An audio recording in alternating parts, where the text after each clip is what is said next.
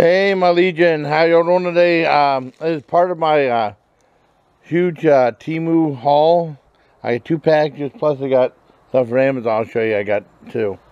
Uh, I got a whole bunch of these. I got these um, little strainers, or little screens right here. They're shaped for a pipe. And I got this. Look at this. Look at this right here. This wooden pipe. I got another one coming. Might have been in the other thing. Look at that. Lion's head. That'll be cool as hell. That'll be cool as hell. Alright, I got that. in the wire screens. Also these stickers. I got a wacky thing, a wacky package of stickers. Uh, loose, they're like a dollar ninety-six. I thought just just for collecting, that's pretty cool. I got this new coffee mug. Look at that. I use that probably to test out that uh, milk chocolate John got me a while back. I got sleeping mask. Never had one of these before. Usually I just put like a shirt across, but I would like a dollar, so I got it.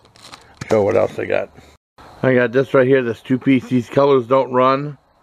Eagle and the shorts and stuff. You know now it's too cold to wear them, but I have to wear them next summer. Okay. I got some. I got this Terminator shaver. This looks cool as hell. When I get a chance to do a product review, I will. I'll show you what else I got. Shirt from Fort Bragg, North Carolina. Because I was stationed there a long time ago. Thought it'd be kind of cool to have a little bit of memorabilia from there. Okay. I got this Cyberpunk skull t-shirt. So cool. Look at that. I think that's pretty wicked awesome right there. Now I'll show you what I got from Amazon. Okay. And I got this shirt from uh, Amazon. Devo shirt.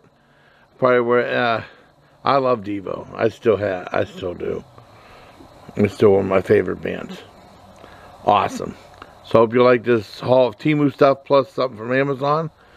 So until next, everybody, please take care of my legions.